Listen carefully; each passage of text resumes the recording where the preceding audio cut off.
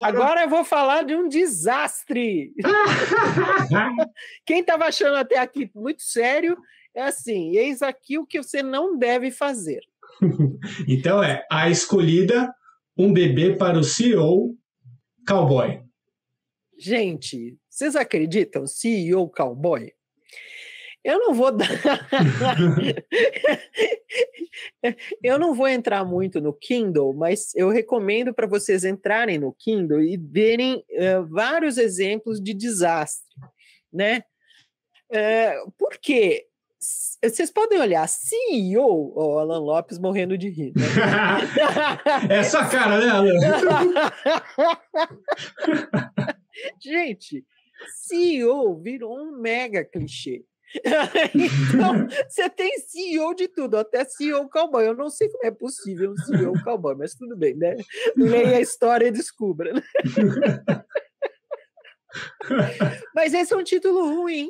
A menos que você ache CEO cowboy tão estranho que você lembre que é, se trata dessa história e não nenhuma outra. Mas CEO é o clichê do clichê, tá? Então, uh, muito demais exagerado, não recomendo. Não use palavras por demais repetidas. É.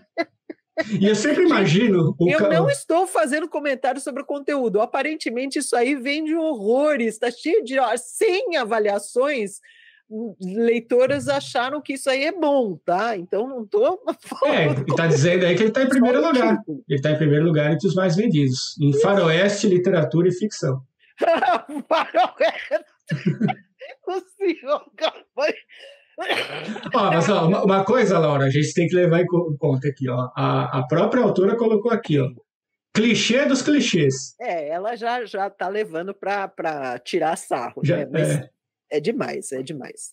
Bom, e a, e a, a, né? É. Pode ser tão absurdo que até funcione. Né? É, e, a, e a capa, aí, não, aí a capa eu não gostei. Sem comentários. Infelizmente eu não gostei. Sem comentários, ruim demais. é o clichê do clichê do clichê. Então junta mais um clichê. Mas vende bem, você vê? Então, assim, nós... é. aí vezes... entra aquele negócio. Se, de que adianta a gente falar que o título é ruim e a capa a gente não gosta, e o livro está em primeiro lugar. É verdade. Com 100 avaliações de crença. Não está nem ligando, ela está vendendo é. o livro. Aí, aí que tá, gente. É a questão do público. Nós não somos o público do livro dela. Mas o público dela está dizendo que o livro dela é muito bom. Olha, tô, deixa, eu, deixa eu passar o mouse mas aqui. eu acho, mas eu acho, ainda assim, CEO eu acho ruim porque é. tem demais. Eu faria outra coisa. Eu faria um bebê para o cowboy, qualquer coisa, entendeu? É. Ó, o livro dela tá com. CEO cowboy eu não faria por causa é. do, do excesso de CEOs absurdos, né? Então, você, eu acho, clichê, do clichê.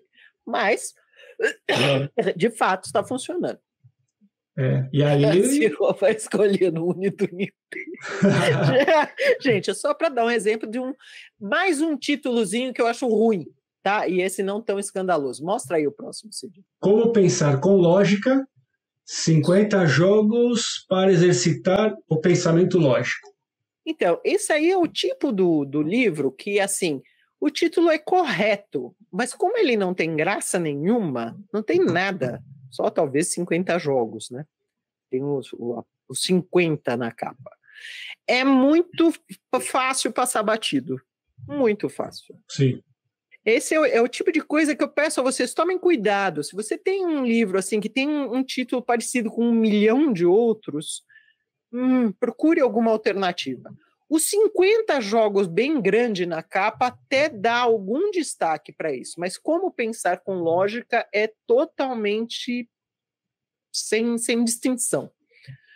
É, uhum. muito, muito óbvio, muito, muito sem, sem nada, sem nenhuma faísca. Vocês percebem? É.